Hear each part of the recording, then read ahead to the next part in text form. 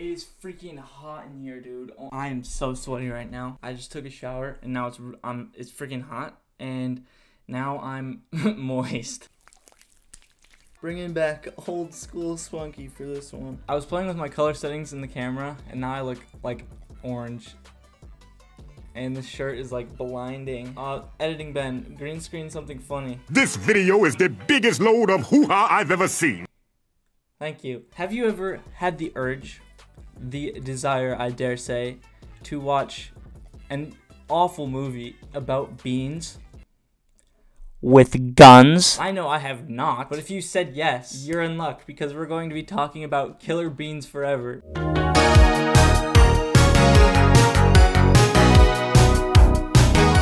If you have not heard of Killer Beans Forever, yeah, I'm not surprised. It was a really low budget movie from like 2009. The way I found it was there's a certain scene right at the beginning, which you will soon see. It was in a meme video, and I thought it was hilarious.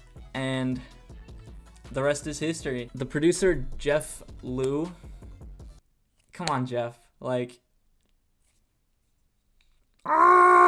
All right, let's get into it. So the opening scene, it's some some beans in a in a warehouse. So these beans are getting funky to some extremely repetitive EDM music that sounds like it should be in a low budget 80s film. I mean that's good and all, but this was made in 2009.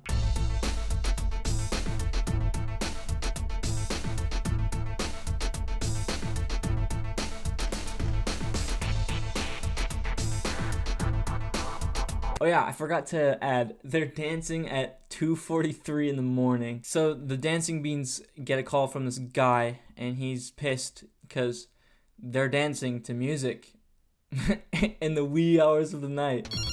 Yeah? Can you turn down the music? I'm trying to get some sleep here. Turn down the music? Turn down your damn music or I'll come over there and turn it down myself. And he basically says, I'm trying to sleep, turn down your music or I'll turn it down for you. And Mr. DJ Bean is like, nah. And the the DJ Bean pulls the ultimate little brother move and and turns up that dial. He turns up the volume. And after he does that, not even 10 seconds later, a car busts through the door and mows down the beans that are dancing.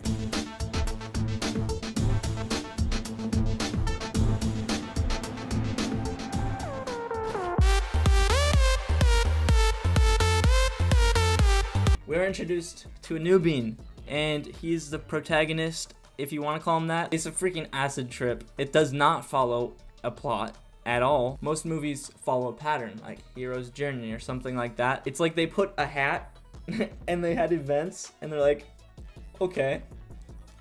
okay. And it sounds like a 10 year old wrote this. So the new bean bumps out, jumps out of his car and delivers the worst one liner I have ever heard in my entire life in any movie ever. When I don't get enough sleep, I get irritable, and you don't want to make me. And then more beans show up, and they have guns.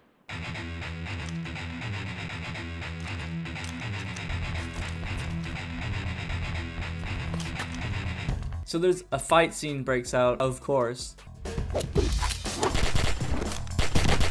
One thing I found funny was like in the like in the middle of all this, there's this one bean who who shows up with a shotgun, and he's like across the entire room, and he tries and he tries to shoot Ninja Bean, and as you can expect, nothing happens. The scene ends when the Ninja Bean throws a grenade and blows up the guy, last guy. Just kidding. DJ Bean is still alive. So DJ Bean turns out he is the nephew of the main mob boss, I believe. Correct me if I'm wrong. Editing Ben. Okay, awesome. So DJ Bean is being held at gunpoint by Ninja Bean, and DJ Bean is like, Who are you? And once again, Ninja Bean drops another awful one-liner. Just a bean trying to get some sleep. I am just a bean trying to get some sleep.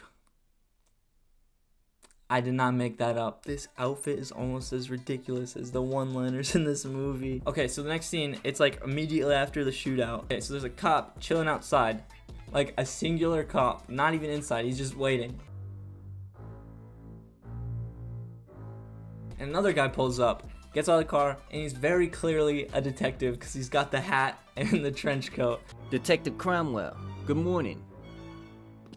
Yeah. I find it funny that the backup is a detective and and not more police. And I think the most ridiculous part about this is the detective, the backup, pulls out a six-shooter revolver like with six bullets. The detective, using his insane detective skills, finds a bullet shell, a bullet casing from a bullet from a gun with the killer bean's name on it. Detective Cromwell, I found something here. And he's like, I found a clue. Anyone who knows how to read can be a detective with this logic. And then another car pulls up and he parks. Emphasis on parks. Why do I put emphasis on parks? Because this genius cop tells the parked car to stop. Stop! Stop right there! This is the police! Hold it right there! So the guy who pulled up, his name is Va- Vagan, Vagan, whatever the frick again. So he wakes up to sirens, The hell is going on out there? and there he lives down the street from the warehouse. He can see it from his bedroom window. And this killer being dude is an idiot. Okay, he sees cops. So what does he do? He pulls out his his sniper rifle and is about to kill some random dude that he's never seen before until he gets interrupted by a phone call. The phone call is from his boss. Just want to, I just needed to put that out there. And then suddenly, we are in China. Yup.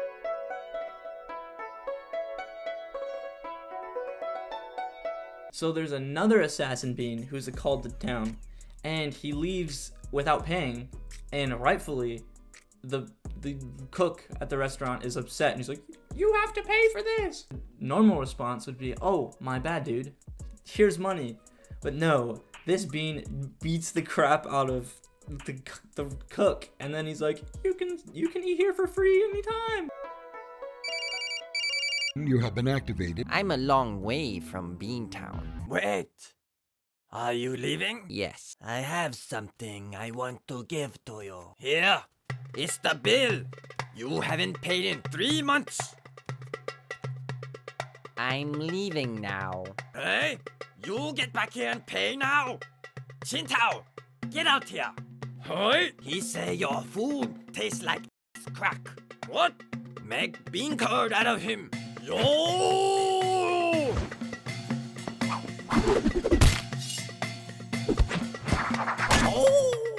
So basically, the whole point of the scene was a newbie, a new assassin bean is called to Bean Town, and we're just we're just gonna call him China Bean for now. And it, you'll see why. You'll see he comes in later in the movie. It's honestly so all over the place. So now we're in the, the mob boss's office building, in a bean board meeting. Looking at the figures from our previous fiscal year, narcotic sales have dropped 57%. 57%! That's more than half. You see, it's easy when you think about it. Crime is on the rise, okay? Some more guns sell because criminals use guns. Hello? They also use drugs. Some more drugs should sell, right? What's the problem here? I would like to point out that is not how supply and demand works. The gang bean is mad because drugs are down 50%. Why are they down 50%? Anti drug commercials. It's all those anti-drug commercials on TV. You never see any anti-gun commercials. It's not fair. And for some reason, the three main profits for the gang is drugs, guns or weapons, and eggs. Yeah, I have no idea. Uh, I can't tell if the writers were trying to be funny or not when they talked about selling guns illegally. That bean is nothing but a kiss ass brown noser. What does he know that we don't know? But he's making millions of dollars selling weapons. If you ask me, he's doing something illegal. Like I'm genuinely stumped, but it shows how it just goes to show how bad this movie is. And I'm going to be completely honest with you. This whole movie sucks. It is so bad and it is excruciatingly painful to watch. So I'm going to sum it up for you. And it's going to sound like I made it up or a 10-year-old made it up.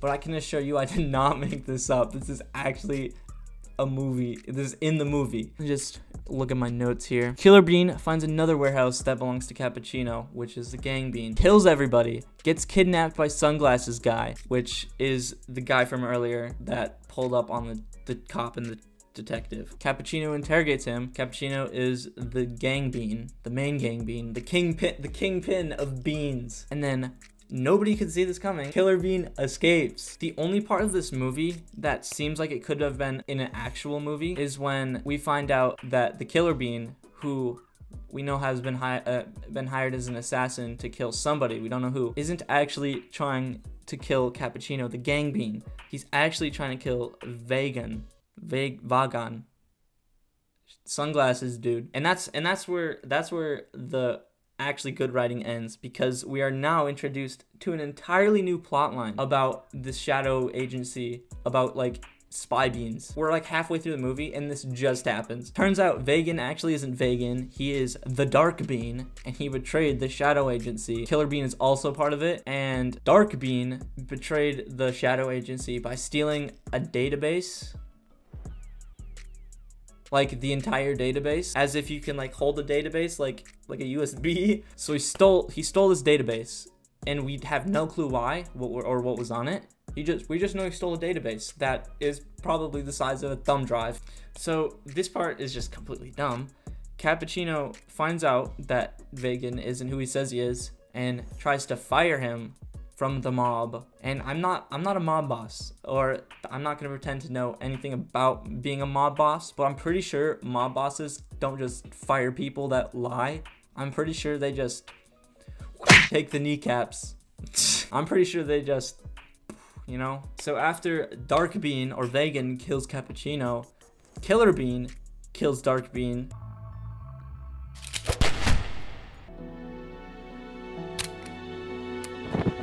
and then gets arrested. Rightfully.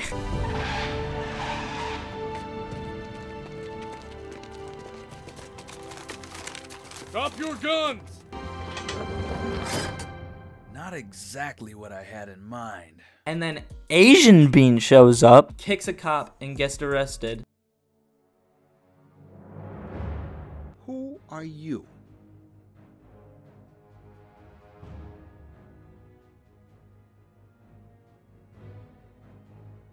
Let me put it in a language you can understand. Oh, so sorry. No charming here. You deliver. Wrong place.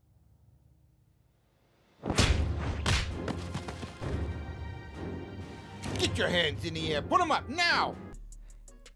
Escapes and kills everybody. Oh! Somebody! Oh! He needs some milk.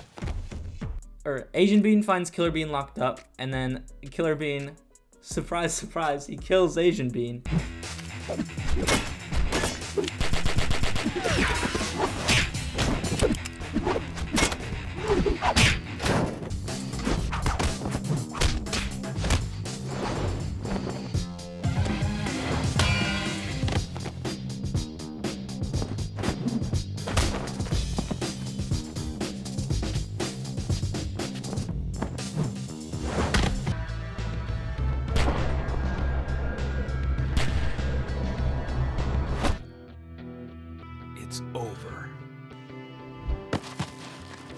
It turns out that Asian Bean was part of the Shadow Society or whatever the frick. Like big surprise. It's this seems like it'd be the climax of the movie.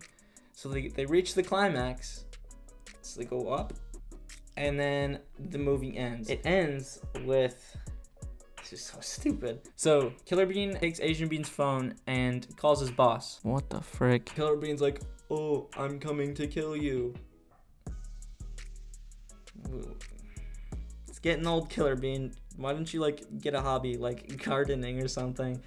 So he's like, "Yo, dude, I'm gonna kill you." And then he goes to like a police van and starts taking weapons, and then that's where the movie ends. Why don't you come in? We can talk things over. Oh, I'm coming in. but it won't be for talking.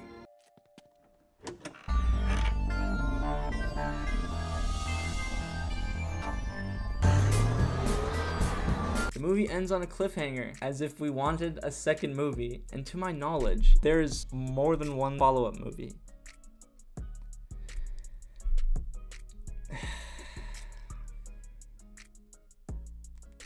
I. Ah! That was probably the most excruciating 85 minutes of my life. It, it was bad for so many reasons, but like, I think the animation was, it was very lazy. It was a really interesting animation style because everything looked shiny. I can tell there was effort put into it, but you can tell that there was like three dudes that animated the whole thing, which that that's what happens when you have less than a million dollars to fund a movie. Yeah, it was this was awful. It was an awful movie.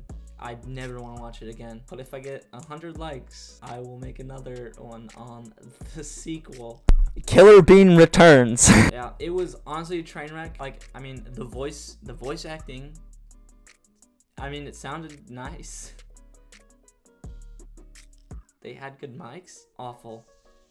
I want to drink bleach.